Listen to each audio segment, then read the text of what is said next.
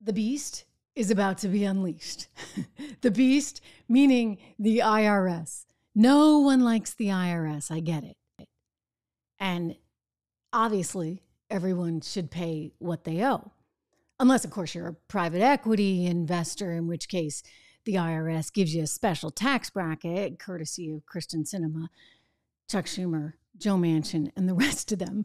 But, you know, everybody's supposed to pay their taxes. And now, and now the Biden administration is putting $80 billion, nearly $80 billion, towards hiring 80,000 some more IRS agents because they want to make sure that everyone pays up. Is this really going to work well? Or is this going to be another political disaster, just like their idea to look at everyone's bank accounts who's ever had more than $600 in their bank accounts. Hello, everyone. Welcome back.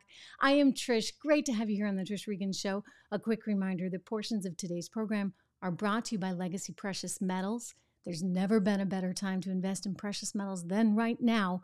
So go to legacypminvestments.com for more. Again, legacypminvestments.com.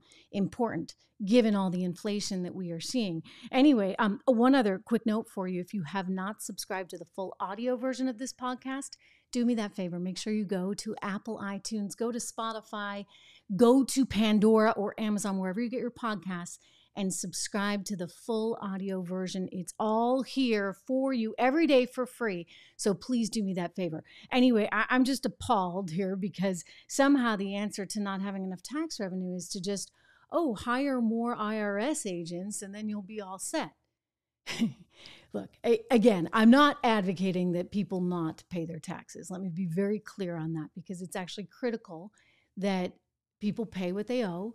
Otherwise, we'll turn into a, a, country like Greece, which, if you recall, during the European debt crisis, it came to light that nobody was actually really paying what they owed. There was this huge underground economy.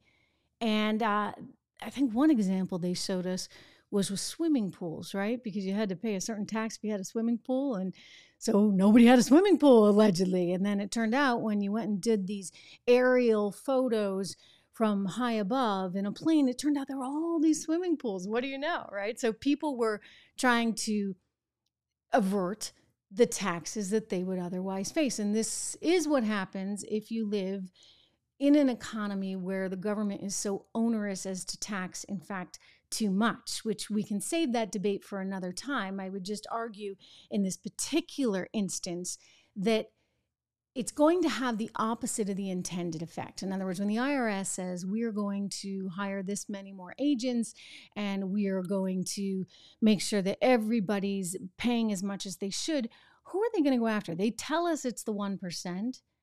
But uh, hey, the 1%, they've already got a pretty sweet deal, right? I mean, hey, the Senate just passed it officially. Kyrsten Sinema said she wouldn't sign on unless they got rid of that you know, closing of the tax loophole that benefits billionaire investors. The private equity tax loophole, as it's known, so that those that are being paid a billion dollars, and in some cases, some people are paid a billion dollars to manage money and to help people invest. Instead of treating that as income and having them pay the top bracket 37%, they get to pay, you know, 20% and change. And it's perfectly legal. Wild, right? But but, you know, if you have a small corporation, you're a small business owner, you better make sure that you dot your I's and you cross your T's because Uncle Sam is coming looking for you here. And uh, they, uh, they're going to put 80,000 more people to work. That's one way to help the job market, I guess, uh, looking at everybody's taxes. Again, enforcement's important, but let's also keep in mind our priorities. I would look back to the previous administration, which collected more in tax revenue. Think about this the Trump administration collected more in tax receipts than any other administration at any point in history. And they did that because they created incentives for corporations to want to make more money, for individuals to want to make more money, for money to come back on shore. And so it seems to me the logical way to do this is to create the right kinds of incentives. It's the carrot stick philosophy, right? So that you're making sure that you bring all that money here because you want it to be here, as opposed to saying, hey, you know, we're putting $80 billion into enforcement, so watch out. Just to keep in mind how much money that is, you know, you could actually you could actually enforce the border. You could actually patrol the border for a fraction of that amount. My friends over at the Committee to Unleash Prosperity calculated the numbers and they came up with, oh, it cost you 20 billion if you wanted to hire enough border agents to really and truly police that border. And then they also pointed out that for half the amount of money, you know, roughly uh, 40, 40 billion, you could actually make sure that you short up our military. We're actually not not doing so great on the recruit front. Not many people are joining the, the military right now. So there's a lot of things that you could do with that money. I'm not saying you, you even need to spend it, but the IRS, really, guys? I mean, it's like they can't get out of their own way. I mean, I don't know how you're going to package this one, but remember when they told us how they wanted to go after fat cats, but somehow it meant anybody who had more than $600 in a bank account? really? Really? That's that's what you want to do with your spare time. Go after the people who have $600 in their bank account. Um, I want to get in a quick word from one of our great sponsors that cares very much that we keep the administration and the IRS out of those bank accounts worth $600, and that's AMAC, the Association for Mature American Citizens. You can go to amac.us slash Regan and you can sign up or you can actually renew your subscription if you already have one today for just $16 for the entire year. This is a community, over 2 million of us, mature American citizens that care about things like tax policy and care about the, the economic policy that's going to matter in the future, in the here and now, and in the future. And so the great thing is you can join forces with this great group of very like minded people like you and me, while simultaneously getting all the perks of being part of AMAC, which includes restaurant discounts and hotel discounts, travel discounts, all kinds of great things, cell phone plan discounts, as well as some help trying to figure out what insurance you may need. It's all there, and it's just $16 a year. So go to amac.us slash Regan, my last name, amac.us slash Regan, my last name, for more on all of that today. In the meantime, um, back to this IRS thing. I mean, I, I'm just kind of offended. I, I, I sound like I'm like, you know, one of the, the woke ones right now because I'm offended at everything, but I'm, I'm offended when they, they think that the, the answer is to somehow just go after every Tom, Dick, and Harry and Jane and Susan and Sally. And this is who will be affected. It will be your middle class. As much as they're going to try and tell you, oh, it's the 1%. No, no, no. Just in terms of you have that many IRS agents, uh, who are they going to go after? And they can't, as I keep saying, they can't go after the people that they should go after, which are the billionaires that get away with the great deal on the tax front because we've got lawmakers that are so concerned about ma- making sure they have enough money for their next campaign. I told you yesterday about all the money. I mean, Kyrsten Sinema is one example. She's got donations, individual donations from the private equity industry eh, totaling over 500,000 for her last campaign. I mean, that is a lot of money, right? And I'm just looking at the numbers 54,900 from executives over at KKR, 35,000 at Carlyle, 27,300 over at Apollo. The private equity industry is a very big lobbying organization. In fact, they probably spend more money than any other industry right now. They're on K Street. And one of the reasons they're doing this is to give themselves the beneficial treatment when it comes to taxes. Do you know that Chuck Schumer? Collected 1.28 million from the private equity industry, including Blackstone and KKR. So you really think that he's that interested in raising taxes on this particular group of people? Go back and listen to Monday's podcast if you want an explainer there on why this is income and why it should be treated as income and why this is just highway robbery, frankly, of the American people and of our government not to treat it as income. But you know, th- these people in Washington, I'll tell you, the whole system is so darn corrupt. When we when you see what just went down, and when you see that they're going to effectively inflate again the US economy artificially by spending all this money while simultaneously adding another 80 billion to go after everyday folks from the IRS all all while saying we're going to give a pass to those private equity investors. I mean, give me a break. It's not investment, it's income, and they need to be taxed as such. Anyway, it, it's it's really pretty disgusting. But the whole thing is just disgusting. I mean, the, the idea that they want to pass this off, the name itself, as somehow an Inflation Reduction Act. Guys, you're just spending more money. All right, before I get to that, I do have one more thing I want to mention to you. You know, it's summer and we're all looking for movies, and I don't know about you, but it's kind of hard sometimes. Kind of hard to find a good sort of family movie that you can enjoy watching that is representative of your values.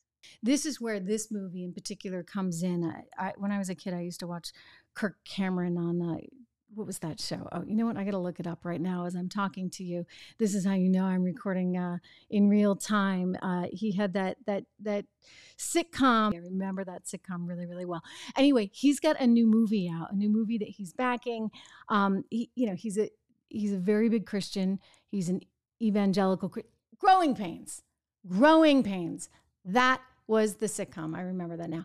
Anyway, he's got a, a, a new movie that is just out, and um, it's pretty neat. It's it's got a good message, and I think it, it's worth taking a look at as you're looking for things to watch and be entertained by.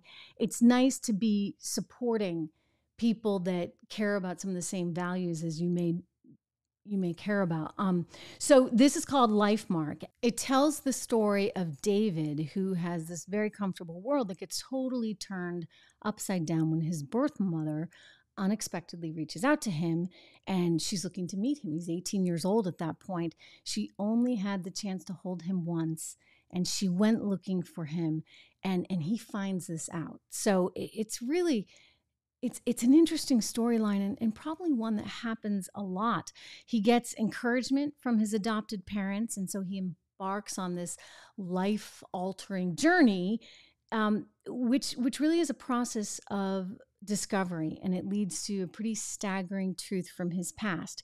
Inspired by a true story, Lifemark is a powerful reminder that one decision, one choice can impact so much more than one life. It's a pro family, pro love, pro forgiveness, pro reconciliation, and pro new beginnings kind of movie. So take a look at it. If you're looking for a movie, watch this one. I, I think you'll enjoy it. It's called again Lifemark. So see Lifemark in theaters. It's nationwide beginning September 9th, or you can get your ticket in advance. Just go to lifemarkmovie.com. Again, that's lifemarkmovie.com. But a, a, a nice, a nice film to see. Anyway, getting back to the nitty gritty of this finance stuff that's really, really kind of uh, offensive in so many ways, given what they're about to put through. And it's hundreds of billions of dollars worth of new spending. Now, one of the ideas here is that they're going to collect more taxes from companies and, and, uh, you know, look, I get it. It's not right that a company earning billions of dollars would be able to not have to pay any federal tax. But the reason, the reason that is, is because of the depreciation acceleration schedule that Congress, by the way, put into being. They're not willing to actually change that. Like like the actual messed up system that they put in. Instead, they're just going to make sure that everybody has this alternate 15% tax if you're making more than a billion dollars. Again, look, I, you know, it's hard for me to feel terribly bad for companies making more than a billion dollars, but I would argue this that part of the reason the acceleration for the depreciation schedule was actually put into being was so that we could attract more capital here to the United States of America. We wanted more capital coming to work here. So now apparently we don't want it anymore, I guess.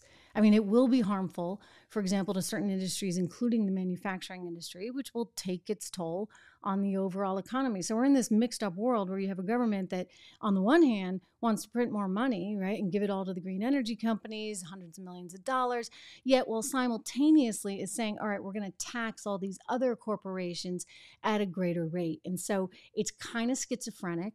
And I don't think they know which end is up. And consequently, we're going to be tied in knots here that I think could have a, a lasting impact. And I do not see us getting out of this recessionary style environment anytime soon.